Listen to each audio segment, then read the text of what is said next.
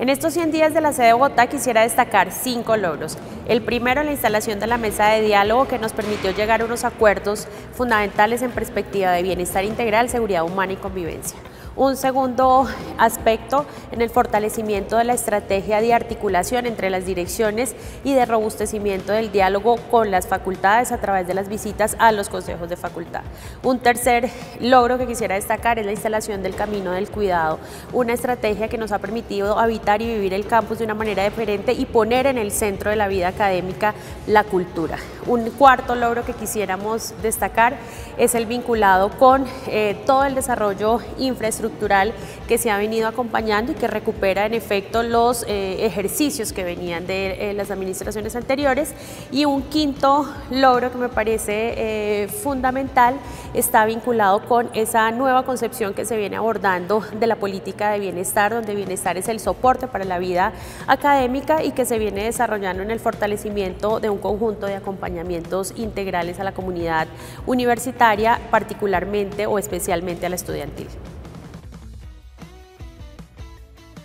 Hola, los 100 primeros días de Medellín tuvieron los siguientes logros. Primero, un acercamiento a la comunidad por medio de la apertura de un espacio directo de comunicación con los estamentos llamamos Dialoguemos. Un segundo punto fue una interesante construcción colectiva por parte de, diferentes instancias de la universidad, movimiento estudiantil, sindicatos, dependencias, etcétera, de la semana universitaria. El tercer logro para Medellín en estos 100 días es la implementación de un equipo reforzado para acompañar la gestión de proyectos de investigación, incluyendo los proyectos que se presentarán a regalías. Un cuarto logro que podemos recalcar en estos 100 días es el reforzamiento de relaciones externas con diferentes entidades, tanto nacionales como locales como regionales, y un gran logro va a ser la visita del ministro de Educación para abrir un debate alrededor de la política que se está planteando hoy desde el Ministerio y el papel de la Nacional en esta misma política. El quinto logro es la reunión con diferentes entidades para adelantar proyectos estratégicos que van a servir de impacto a la región y que la universidad va a ser protagonista. Y finalmente, el liderazgo como universidad en la participación del G8 rectores, que se reúnen rectores de universidades públicas y privadas para discutir interacciones académicas, eh, ambientales, etc. Desde la sede Manizales, el principal logro en estos 100 días ha sido el proceso de reconciliación que se dio entre los diferentes estamentos que se encontraban en tensión. Este proceso se logró por un diálogo y una escucha genuina entre las partes. Uno de los resultados más importantes es que la cotidianidad en el día a día de los tres campus se da libremente. Tenemos espacios de diálogo, de diversión.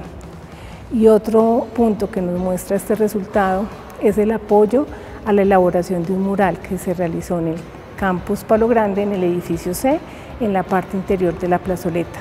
En este mural Destacamos nuestras tres facultades, todos los estamentos e incluso las mascotas que recorren libremente los campos.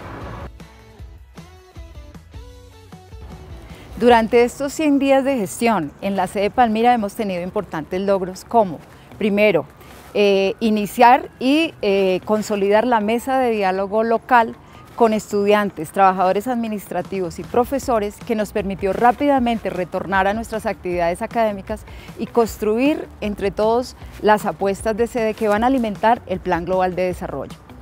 También hemos logrado impulsar el liderazgo local y regional de la sede Palmira a través de la red de universidades de Palmira, Red RUPAL, que nos va a permitir proyectarnos y articularnos muy bien en el territorio. Hemos sido también designados por el Ministerio de Ambiente como zona verde de la COP16. Este es un evento muy importante que nos va a permitir también mostrar todos los esfuerzos que hace la Universidad Nacional de Colombia en sus distintas sedes en torno al conocimiento y al cuidado de la biodiversidad. Para nosotros este es un gran reto. También eh, hemos podido eh, implementar algunos convenios que nos permiten mejorar nuestra interacción con instituciones y empresas de la región.